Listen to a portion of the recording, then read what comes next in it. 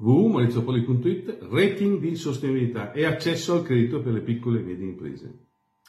Il MEF ha messo a punto un documento con 45 indici di sostenibilità per le piccole imprese, che le stesse potranno utilizzare la, con la finalità di evitare maggiori difficoltà proprio nell'ambito dell'accesso al credito stesso e anche per monitorare, contenere eh, il costo del denaro a questi finanziamenti.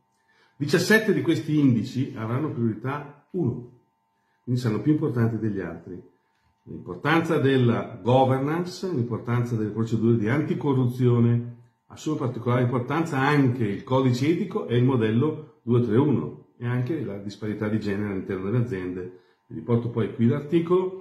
È fondamentale per le imprese iniziare questo percorso di, eh, per questo impatto di ESG per quanto riguarda l'accesso al credito.